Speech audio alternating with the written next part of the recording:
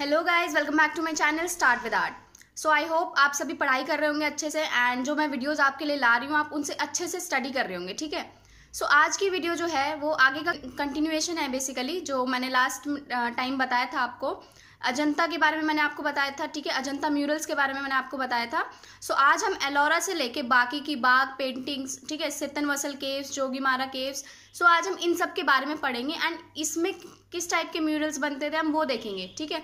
कौन कौन से किस किस स्टेट में लोकेटेड है ये केव्स तो आज हम वो देखेंगे, ठीक है? तो चलिए स्टार्ट करते हैं फिर आज की वीडियो एंड आपको तो पता ही है ये जो सीरीज़ चल रही है, जिन बच्चों को नहीं पता है, जो फ़र्स्ट टाइम आए जो फ़र्स्ट टाइम इस वीडियो को देख रहे हैं सो उन्हें बता दूँ भाई, ये सीरीज़ चल रही है, आप लेसन वन से कंटिन्यू कर सकते हैं एंड तब आप इस वीडियो पर आ सकते हैं तो आपके लिए ज़्यादा अच्छा रहेगा, ठीक है? तो चलिए स्टार्ट करते हैं फिर आज की वीडियो आज का टॉपिक है इलोरा केव पेंटिंग्स ठीक है? इसके अलावा हम बाकी की जो सारी म्यूरल केव पेंटिंग्स है ना, उनको हम पढ़ लेंगे। जो भी बाकी की केव्स बची हैं एलोरा के अलावा आज हम ये जो म्यूरल्स हैं, इसको हम फिनिश कर देंगे इस टॉपिक को एंड इसमें काफ़ी सारी केव्स हैं। तो जिसमें से मैं मोस्ट इंपॉर्टेंट चीज़ें आपको बता देती हूँ, ठीक है? तो चलिए स्टार्ट करते हैं। The mural paintings in the Ellora caves are found in five caves mostly limited to Kailash temple so mural paintings यानी कि म्यूरल पेंटिंग्स वो होती हैं जो कि वॉल पर की जाती हैं। इन द एलोरा केव्स तो ये पाँच केव्स में मिली हैं हमें मोस्टली जो कि कैलाश टेंपल तक लिमिटेड हैं। एंड कैलाश टेंपल एलोरा जो एलोरा केव है, इसमें सबसे ज़्यादा इंपॉर्टेंट है तो इसको आप याद रखिएगा, ठीक है? जब हम आर्किटेक्चर पढ़ेंगे, तब इसके बारे में मैं और ज़्यादा डिटेल डिस्क्रिप्शन आपको दूँगी। फ़िलहाल अभी आप नाम याद रखिए। These murals were done in two phases the first phase painting were done during the carving of the caves so ये दो फेजेस में की गई हैं एलोरा केव पेंटिंग्स की जो आ, मतलब पेंटिंग्स की गई हैं ये दो फेजेस में की गई हैं। पहला तो जो मतलब जब ये कार्व हो रही थी केव्स तो उस टाइम पे ही कुछ पेंटिंग्स जो है म्यूरल्स जो हैं बना दिए गए थे। नेक्स्ट है while the second phase were ones were done several centuries later so second phase जो है वो काफ़ी सेंचुरीज बाद यानी कि जब ये केव्स बन गई उसके बाद भी इसमें कुछ कुछ पेंटिंग्स होती रहीं। The earlier painting show Vishnu with his consort Lakshmi bond through the clouds of Garuda the celestial bird so जो अर्लियर पेंटिंग्स हैं उसमें विष्णु को दिखाया गया लक्ष्मी के साथ ठीक है? Garuda the celestial bird and bird को भी दिखाया गया उसमें। सो so, इसमें इन मतलब विष्णु भगवान और लक्ष्मी जी का जो है हमें काफ़ी सारी पेंटिंग्स मिलती हैं जो अर्लियर पेंटिंग्स थी। Then the later paintings made in Gujarati style depict processions of Shaiva holy man so so, जो बाद की पेंटिंग्स बनी हैं जो कि गुजराती स्टाइल में बनी हैं उसमें हमें शिव शिव भगवान का जो मतलब एक रूप होता है अच्छा वाला वो उसमें दिखाया गया है कि वो कितने ज़्यादा होली मैन थे। नेक्स्ट है the paintings are related to all the three religions ये गाइस क्वेश्चन जो है ये बहुत इंपॉर्टेंट है।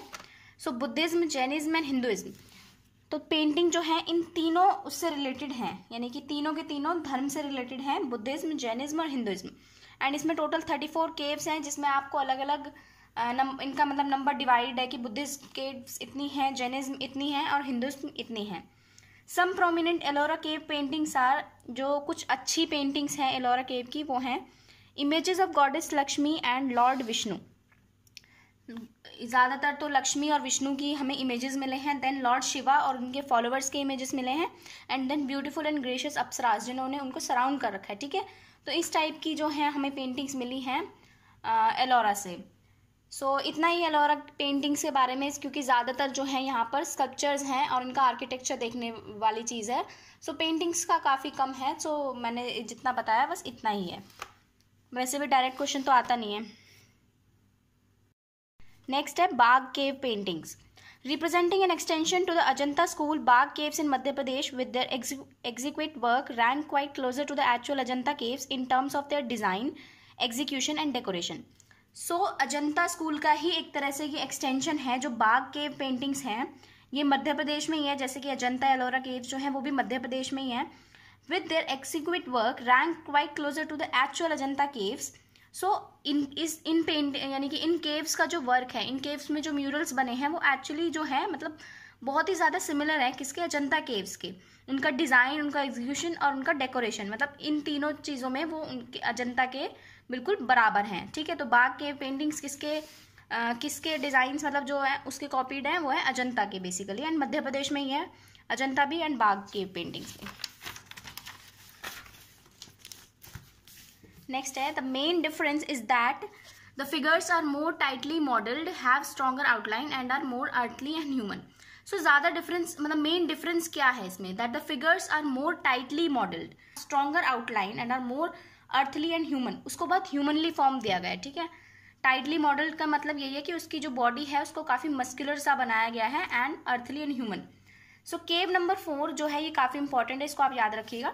केव नंबर फोर को किसके नाम से जाना जाता है? रंग महल के। So so, Bagh cave paintings में cave number four Rang Mahal के नाम से जानी जाती है। एंड इसमें beautiful murals on the walls depicting Buddhist and Jataka tales इसमें बुद्धा को ही दिखाया गया है एंड जातक टेल्स दिखाई गई हैं। Just like those in Ajanta जैसे कि अजंता में जैसे बताया था ना आप अभी मैंने आपको कि बाग के पेंटिंग्स किसके सिमिलर है? अजंता के। Although sanity and decayed now but अभी जो है ये थोड़ी ख़राब हो चुकी हैं। These paintings depict religious themes in the light of contemporary lifestyle of people ख़राब हो चुके हैं लेकिन ये जो आ, क्या नाम है पेंटिंग्स हैं ये उस टाइम पे लोगों का मतलब लाइफ स्टाइल कैसा था वो डिपेक्ट करती हैं। And there are nine caves in the Bagh caves ठीक है? जब हम आर्किटेक्चर पढ़ेंगे तब हम उसके अंदर और डिटेल से पढ़ेंगे कि बाग केव में हमें कैसे कैसे स्कल्पचर्स मिले हैं, ठीक है? नेक्स्ट है गाइस मतलब ये अलग अलग जगह पे ये उसी सेंचुरी की बात हो रही है, जब गुप्ता एज चल रही थी, ठीक है? एट से एट सेंचुरी के आसपास की सो उस टाइम पे जो जो अलग अलग जगह पे केव्स थी, ठीक है? उनमें जो पेंटिंग्स बन रही थी या फिर बन चुकी थी पहले से तो ये उन ये उन केव्स के बारे में मैं आपको बता रही हूँ। जिसमें जो, क्योंकि म्यूरल वर्क उसी टाइम से स्टार्ट हुआ था, ठीक है? तो उससे, उस टाइम से बनना शुरू हुई और कुछ टाइम बाद तक भी बनती रही तो उसमें ये सारी मैंने इंक्लूड कर ली है। नेक्स्ट है अरमा मलाई केव paintings so Armamalai cave paintings situated in Vellore district of Tamil Nadu. These natural were convert uh, these natural caves were converted into Jain temples in 8th century. So Armamalai cave paintings ये इकलौती ऐसी हैं जो कि natural caves uh, थी और इनको Jain temples में कन्वर्ट कर दिया गया था एट सेंचुरी में ठीक है unbaked mud structures are located within the cave which acted like the place of rest of Jain saints so so, जो यहाँ पर मतलब unbaked mud structures are located within the cave इसी के अंदर मतलब केव्स के अंदर ही कुछ ऐसे स्ट्रक्चर्स बने हुए हैं जो कि जैन सेंस के रेस्टफुल रेस्ट करने का प्लेस मतलब जिन्हें बनाया गया था एक तरह से। The beautiful colourful paintings on the walls and roof depicts the tales of deities protecting eight corners in Jainism so beautiful colourful paintings जो अनमामलाई केव पेंटिंग्स हैं इसमें काफ़ी कलरफुल और ब्यूटीफुल पेंटिंग्स बनाई गई हैं जिसमें टेल्स दिखाई गई हैं किसकी? जैन सेंस की एंड एट कॉर्नर्स में काफ़ी डाइटीज़ होते हैं ना, अग्नि, इंद्र, इन सबको मिला के एट डाइटीज़ बनते हैं तो उनको दिखाया गया है कि वो जैनिज्म को प्रोटेक्ट कर रहे हैं, ठीक?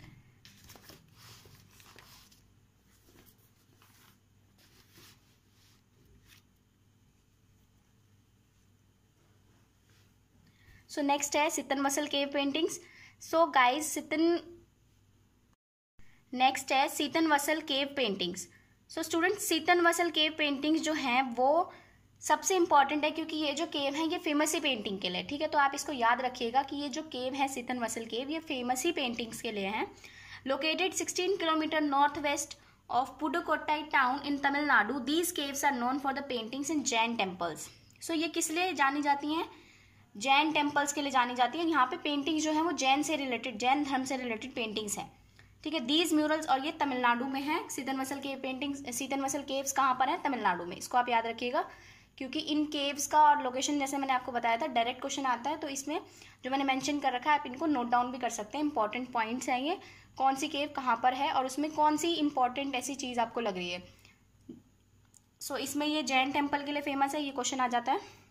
नेक्स्ट है these murals have close resemblance to Bagh and Ajanta paintings the paintings are not only on the walls but also on the ceilings and pillars so ये जो म्यूरल्स हैं, इनकी क्लोज क्लोज रिजेंबलेंस किससे है? बाग और Ajanta painting से। मतलब वैसी की वैसी पेंटिंग्स हैं, जैसे कि जैसे हमें अजंता में दिखी थी और अजंता की रिजेंबलेंस बाग में एंड देन अजंता और बाग की दोनों सीतन वसल के पेंटिंग्स में।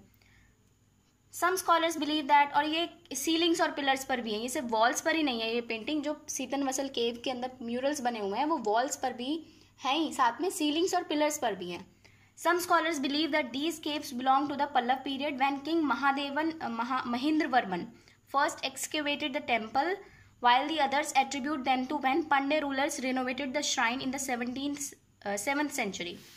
so, कुछ स्कॉलर्स ये कहते हैं कि ये जो केव हैं ये पल्लव पीरियड से बिलोंग करती हैं जब किंग महादे महेंद्र वर्मन फ़र्स्ट ने इनको टेम्पल्स को बनवाया था और उसके बाद पांड्या रूलर्स ने जो है इन्होंने रिनोवेट करवाया था यानी कि पेंटिंग्स वगैरह का काम यहाँ पर चालू करवाया था the medium use for painting is vegetable and mineral dyes and is done by putting colours on the surface of thin wet lime plaster so वही नेचुरल कलर्स ये लोग यूज़ करते थे vegetable dye mineral dyes and यही surface को, वही fresco technique से ये लोग बनाते थे पेंटिंग्स ठीक है? वेट लाइन प्लास्टर के ऊपर।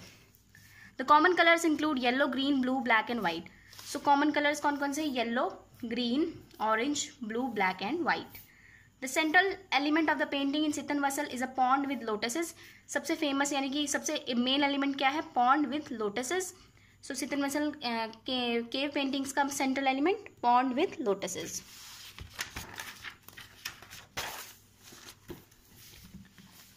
Next है flowers in this pond are collected by monks. Are shown, uh, there are shown ducks, swans, fishes and animals. So so, ये जो फ्लावर्स हैं पॉन्ड में मतलब यहाँ पर जो पॉन्ड है उसमें फ्लावर्स जो थे वो मॉन्क्स के द्वारा कलेक्ट किए जाते थे। और ये कैसे शोन शो किया गया? डक्स के द्वारा स्वान फिशेज एंड एनिमल्स के द्वारा ये चीज़ें वहाँ पर शो की गई हैं पेंटिंग्स में ठीक है? दिस सीन मतलब इस ये सीन में this scene shows Samavasarana important scene of Jain religion so Samavasarana ये एक इंपॉर्टेंट सीन है जैन रिलीजन का तो इस नाम को आप याद रख सकते हैं। ठीक है काफ़ी डिफरेंट नेम है तो वैसे भी आ, अगर आपने ये पढ़ लिया केव केव्स के बारे में तो आपको अपने आप भी नाम याद आ जाएगा। So Samavasarana is a special beautiful audience hall where Tirthankaras delivered sermons after they reach realization so Samavasarana क्या है? एक ऐसा ब्यूटीफुल ऑडियंस हॉल यानी कि यहाँ पर जो तीर्थानकार्स होते थे जैन तीर्थानकार्स होते थे जो कि एक तरह से रियलाइजेशन को अटेन कर लेते थे या निर्वाणा मतलब उन्हें सब कुछ सच्चाई पता चल जाती थी जब वो स्टेज पर पहुँच जाते थे तो वो अपने तीर्थानकार्स को क्या देते थे? वो देते थे मतलब ब्यूटीफुल लेसन देते थे एक तरह से, ठीक है? तीर्थानकार्स जो थे तीर्थानकार्स को नहीं सॉरी अपने, जो उनके जो उन्हें पूजा करते थे बेसिकली या फिर जो उनके स्टूडेंट्स होते थे। Bulls, elephants apsaras and gods gathered in this audience halls to witness this grand scene और इस ग्रैंड मतलब ये जो पेंटिंग है, इसमें बुल्स, एलिफेंट्स अप्सराज हैं गॉड हैं gathered in the audience hall audience hall में उन्हें दिखाया गया है इस ग्रैंड सीन को देखने के लिए, यानी कि जहाँ पर तीर्थानकार जो हैं अपने ऑडियंस को सम, वो दे रहे हैं लेसन दे रहे हैं, ठीक है? नेक्स्ट है Ravan Chhaya rock shelter so Ravan Chhaya rock shelter जो है ओडिशा में लोकेटेड है एंड ये इसमें फ्रेस्को पेंटिंग बनी हुई है। रॉक शेल्टर है, काफ़ी बड़ा सा है ये। बड़े से रॉक शेल्टर्स हैं, एक तरह से मतलब बड़े बड़े पत्थर रखे हुए हैं। और हाफ़ ओपन अम्ब्रेला की शेप में ये हैं. And it is believe that this royal hunting lodge the most noticeable painting is that of a royal procession that dates back to seven century so सबसे इंपॉर्टेंट uh, पेंटिंग इसमें royal procession ही है तो इसमें ज़्यादा कुछ याद करने की ज़रूरत नहीं है. आप जस्ट इसका नाम याद रख सकते हैं वो काफ़ी रहेगा. रावण छाया रॉक शेल्टर ओडिशा में है ये ठीक है? और इसमें फ्रेस्को पेंटिंग्स मिली हुई हैं ज़्यादातर. सो so, नेक्स्ट है जो अलग मतलब जोगी बारा केव पेंटिंग्स ये भी अलग से उसमें अलग किसी स्टेट की हैं जैसे कि ये छत्तीसगढ़ में है और ये artificially carved out cave located in Surguja district of Chhattisgarh. So ये आर्टिफिशियल यानी कि उनको बनाया गया इन केव्स को कार्व करके और ये छत्तीसगढ़ में लोकेटेड है। It is dated back around thousand and three three hundred B C and has few paintings and inscription of a love love story in Brahmi script कब के हैं? It is dated back around thousand से मतलब बहुत पहले के and has few paintings and inscription of a love story in Brahmi script so so यहाँ पर हमें काफ़ी सारी पेंटिंग्स मिली हैं एंड इंस्क्रिप्शन मिले हैं लव स्टोरीज़ के, ठीक है? जो ब्राह्मी स्क्रिप्ट में लिखे गए हैं, ठीक? एंड इन्हें थाउज़ेंड और थ्री हंड्रेड बी में जो है, इनको मतलब बनाया गया था। The cave is set to be an attachment to amphitheatre and paintings were made to decorate the room so जो केव है, एक ऐसा मतलब थिएटर से अटैच्ड है एंड पेंटिंग जो है वो रूम को डेकोरेट करने के लिए बनाई गई थी। वैसे नाम याद रखिए, इतना ज़्यादा ये डिटेल में है, काफ़ी ज़्यादा आई नो बट आप नाम याद रखिए, एक बार मैंने फिर फिर भी आपको बता दिया है, ठीक है? ये सब चीज़ें आती नहीं है, लेकिन हाँ नाम और उनका जो केव है वो ज़रूर आ जाता है और कभी कभार ये चीज़ें पूछ लेते हैं। Paintings are of dancing couples animals like elephant and fish so Jogimara cave paintings में पेंटिंग्स किस किस चीज़ की? डांसिंग कपल्स बेसिकली जैसे मैंने बताया कि लव स्टोरी इसमें मिली है and few paintings and inscription of a love story in Brahmi script में मिले हैं। So paintings are of dancing couples animals like elephant and fish the paintings have a distinct red outline इनकी paintings की खासियत क्या है कि इसमें रेड आउटलाइन उन्होंने करी हुई है। Other colours like white yellow and black are also use rock cut theatre of Sitabenga is also located nearby so other colours कौन कौन से? येलो और ब्लैक और एक रॉक कट थिएटर है Sitabenga is also located nearby ये भी काफ़ी इसके पास में ही लोकेटेड है, ठीक है? सो so, जो कि हमारा केव पेंटिंग्स इतना ही छत्तीसगढ़ में लोकेटेड है एंड इस चीज़ को आप याद रखिएगा जो फ़र्स्ट लाइन में मोस्ट इंपॉर्टेंट सो नेक्स्ट है Badami cave temples so Badami cave temples कहाँ पर प्रेजेंट है? कर्नाटक में. Though the Badami cave temples are famous for its sculptures there are beautiful paintings too so सबसे ज़्यादा किसके लिए फ़ेमस है? स्कल्पचर्स के लिए लेकिन यहाँ पर हमें पेंटिंग्स भी मिली हैं.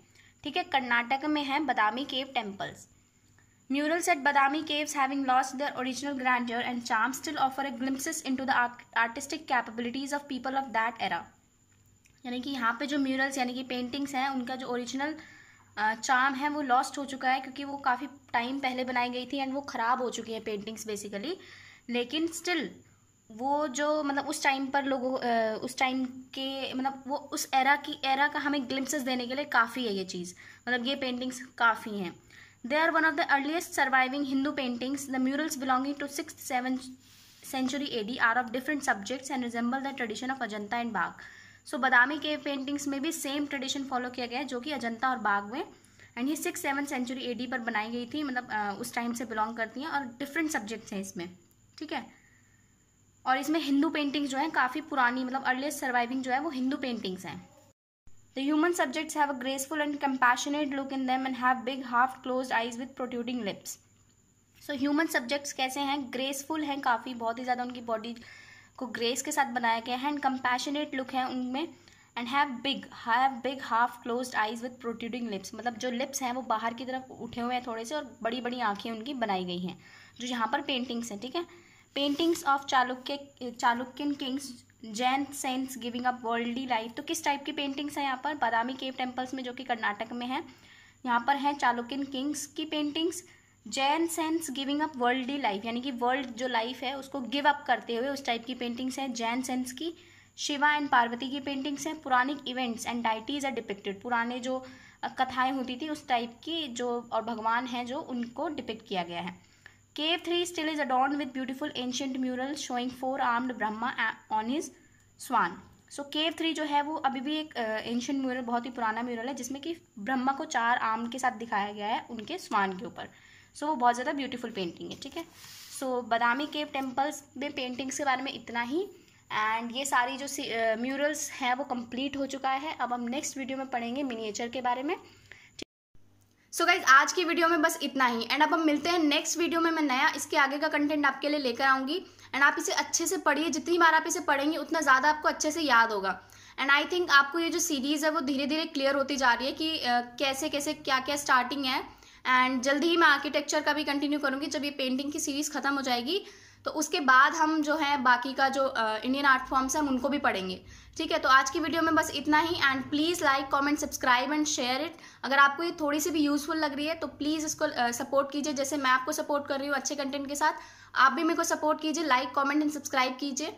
कोई भी क्वेश्चन है, कोई भी क्वेरीज हैं, आप कॉमेंट्स में डाल सकते हैं उसको and I I respond to you so guys take care bye bye and हम मिलते हैं नेक्स्ट वीडियो में।